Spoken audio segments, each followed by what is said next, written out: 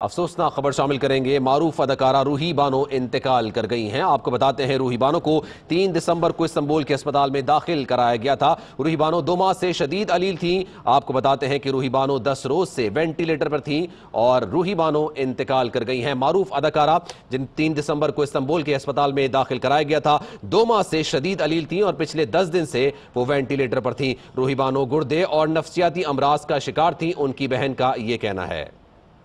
एक बार फिर आपको बताते हैं, मारूफ अदाकारा रूही बानो इंतकाल कर गई हैं। रूही बानो को तीन दिसंबर को इस्तंबुल के अस्पताल में दाखिल कराया गया था। दो माह से वो शदीद अलील थी और गुजश्ता दर रोज वो वेंटिलेटर पर थी और आपको बताते हैं, गुर्दे और नफ्सियाती अमराज का शिकार थी।